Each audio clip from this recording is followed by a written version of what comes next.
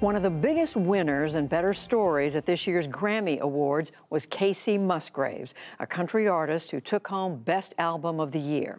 But the reality for many women in country music is very different, especially when it comes to getting on the radio.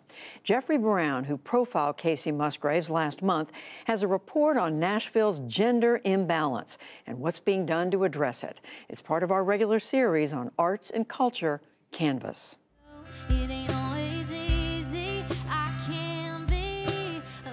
This is the sound of Monday nights at the Listening Room. Known in Nashville as a writer's round, where singer songwriters learn to hone their craft before a live audience. But this one is different and rare. An all female showcase in a city dominated by male voices. You got that sun tan skirt and boots. Turn to a country station today, and this is what you're most likely to hear. I'm a little bit steady, but still a little bit rolling stone. There was this girl, drinking her hand. In fact, in 2017, just around 10% of Billboard's top 60 country songs were by women, a number that's actually fallen in recent years. And it was that persistent disparity that led producer Todd Cassidy to found this all female showcase called Song Suffragettes. We thought if we create a female only weekly show where a lot of these women can come, play their songs, try them out, see what the responses are, meet like minded creatives, they would benefit, and hopefully the community as a whole would benefit. Kalie Shorr is one of them. Originally from Maine, in 2012, she graduated high school early so she could move to Nashville to pursue her dream. My first concert ever was the Dixie Chicks with Michelle Branch opening. And I was nine, and I just remember looking at them and being like, that's what I want to do. Well, darling, in 2015, Shorr had a hit single in Fight Like a Girl a song discovered here at the listening room and played on the Sirius XM station, The Highway. It was an anthem for an issue she's become outspoken about the lack of opportunities for young women in country music. But ironically, that experience only served to highlight how bad the problem was.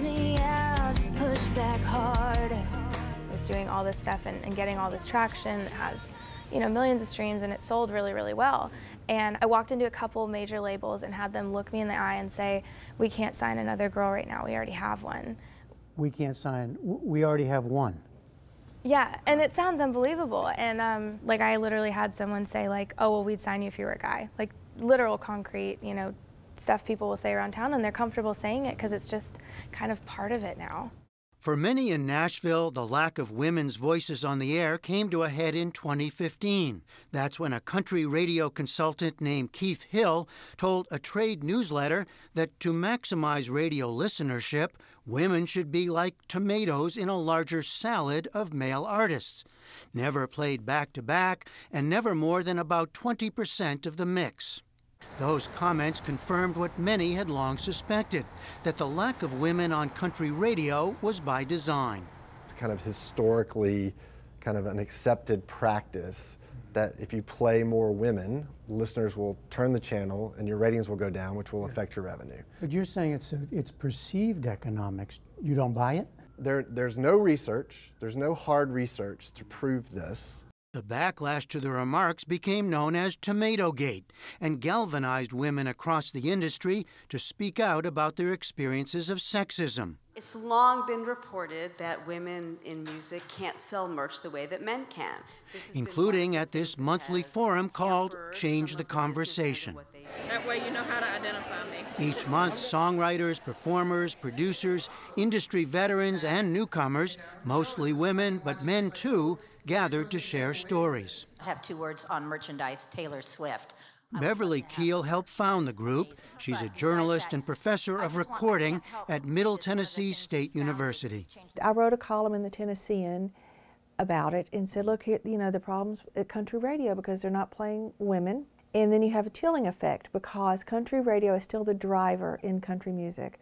So if country radio doesn't play women, labels don't sign women, female songwriters aren't going to get signed as much, you won't see as many female producers, and so on. I mean, is it sexism? Is it economics, perceived economics? What? I think it is long held beliefs. I think it, it, it's sexism, there's institutional sexism. We can't believe we're having this conversation in 2019. I think it's uh, just as frustrating to radio as it is to anybody else. That's R.J. Curtis, incoming head of the Country Radio Broadcasters, a nonprofit group that helps promote the music. Look, it's a, it's a multi-layered situation, and it's up all over. He's been attending the Change the Conversation meetings and wants people to recognize that this problem isn't just with radio, but with the entire industry pipeline, from talent scouts to publishers to labels. If you looked at the rosters of most major labels in town here, I think you'd find that the ratio is about a four to one male to female in terms yeah. of artists on that roster. Uh, mm-hmm. So there's just a, just fewer of them coming at radio yeah. for airplay consideration. If you're a woman who's concerned about this and they're hearing you say, well, it's the ecosystem, that would be frustrating. Uh, very frustrating. Right? And, because and I, then it's like, but everybody's to blame, nobody's to blame. Yeah, I, I, I can see their frustration. I definitely hear that.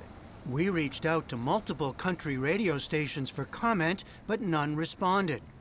And whether radio is the driver of this marketplace or just another victim of decisions made at other levels, many here say it's past time for solutions. I don't know what happened. I don't know what caused it. I don't know who caused it. And we don't want to just put the blame on country radio. And Change the Conversation is not interested in finding blame or pointing fingers. We just want to find a solution. One answer new streaming platforms, social media, and touring to connect directly with audiences, circumventing radio. Radio Disney Country is a relatively young, mostly streaming station based in Los Angeles that's found an audience by playing mostly women in its mix. And prominent artists such as Margo Price and Kacey Musgraves, who just won four Grammys, including Album of the Year, are succeeding despite a lack of airplay. Meanwhile, in Nashville, forums like Change the Conversation and Song Suffragettes are bringing women together to help one another. All the songs that I can't listen to tell the truth. I think in the past five, six years that I've been in town, I saw this attitude shift even within myself where it was like, she's not your competition. She's trying to do the same thing you're doing and that's great because like, you know, Patsy and Loretta were best friends, you know? And um, Dolly and Emmylou and, and all that, like women can support each other and I think they're more successful when they are. For the PBS NewsHour, I'm Jeffrey Brown in Nashville.